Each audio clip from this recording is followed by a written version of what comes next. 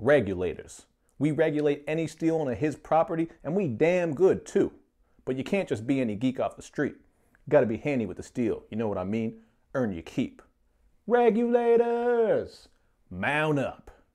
What's up, everyone? It's Luke James, not the singer. If you're looking to get your music reviewed, you can hit up this email that's right here. But right now, you are tuned in to another episode of The Archives where we take a look at classic albums and albums that might not be classic, but we love them and they're from the past. Now, in this episode, we are reviewing something that I consider to be a classic, and it's Warren G's album, Regulate G Funk Era. If you're not familiar with Warren G, he's an artist from out of the LBC who was also part of the group 213 with Nate Dogg and Snoop Dogg. And this album dropped back in 1994, so some of you probably weren't even born when this shit came out, but I was like 9 or 10 and I had this dubbed on tape and I used to kill this album to smithereens, man. I still love this album all these years later, and like I said, to me, I consider it to be a classic. And the reason for that is because Warren G was really helping to pioneer that West Coast G Funk sound. The beats on here are loaded with smooth samples, light keys, fat bass, and of course, that classic West Coast whistle. And even though the content and rhyme schemes don't get too crazy or intricate on this one, Warren G's smooth style and vocal delivery just matches these beats perfectly, man. He just floats over top of them, and sonically, it's a very cool and laid back album that is very, very, very damn pleasing to listen to.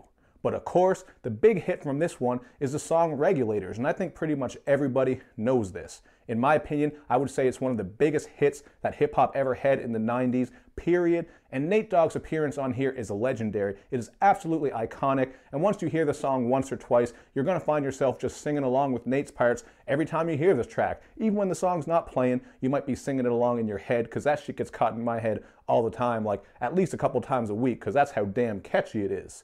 Now, the content on this song has them telling the story of how Warren G gets caught up in a dice game, and then Nate Dogg has to swoop through, save him, and then they go get some girls, and of course, they got to go back to that East Side motel where it's going down. So I like how this one has a bit of storytelling to it. And then I got to say how surprised I was years later when I found out that it sampled this Michael McDonald song. I forget what it's called, but it goes something like, I keep forgetting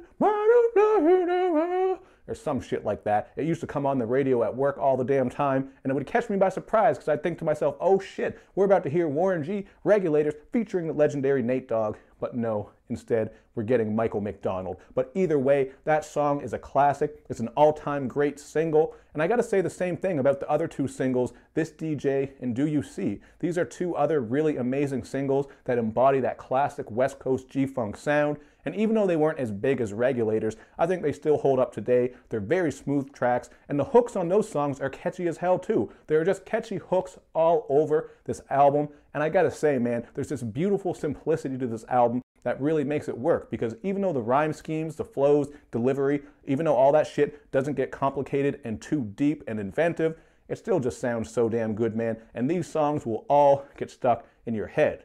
And of course, if we're going to talk about catchy songs on here, I got to bring up This is the Shack featuring the Dove Shack, who was well known for their song Summertime in the LBC. But this song right here, This is the Shack, just oozes summertime vibes with that West Coast whistle and another catchy hook for you to sing along with. I just absolutely love this song. One of my favorites on here, and another personal favorite of mine has got to be So Many Ways. This actually made the Bad Boys soundtrack. I know you remember that classic Bad Boys with Martin Lawrence and, of course, Will Smith. And this song was so catchy too, even though I had no idea what Lady Levi was saying on the hook because of that Jamaican accent, that slang, that patois. But again, has that classic West Coast sound with some fuzzy bass, that West Coast whistle. This whole album really just comes together very nicely. It's very snug and cohesive. And I can listen to this shit from start to finish. I like pretty much every song on here, and I wouldn't say there's one track on here that is awful. Now, you do hear some weird lyrics every now and then, like on the song What's Next, when Warren G actually misspells the word next because he says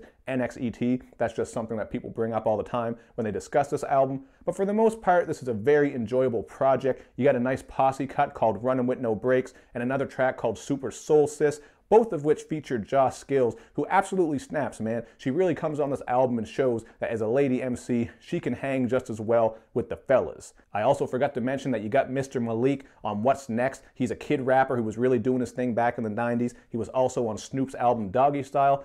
and you get the Twinz on a couple of tracks as well. So there are some solid features on here. Overall, I really don't have many complaints about this album, and I love this shit, man. Like I said, it oozes some summertime vibes, very smooth, very laid back, bright, and sunny. So check it out if you never have. And if you have checked it out, I want to know if you think this is a classic, how much you love it, how much you hate it. If you do, which you must be crazy if you hate this shit, because this is just so damn wavy. But either way, let me know in the comments section how you feel about this album. And make sure you do all that good YouTube and social media stuff, man, where you like my videos, you share them, you follow me on Twitter, you retweet the videos, and of course, man, you gotta subscribe to my channel and click like on that Facebook page. Thank you for watching, everybody. I will see you next time.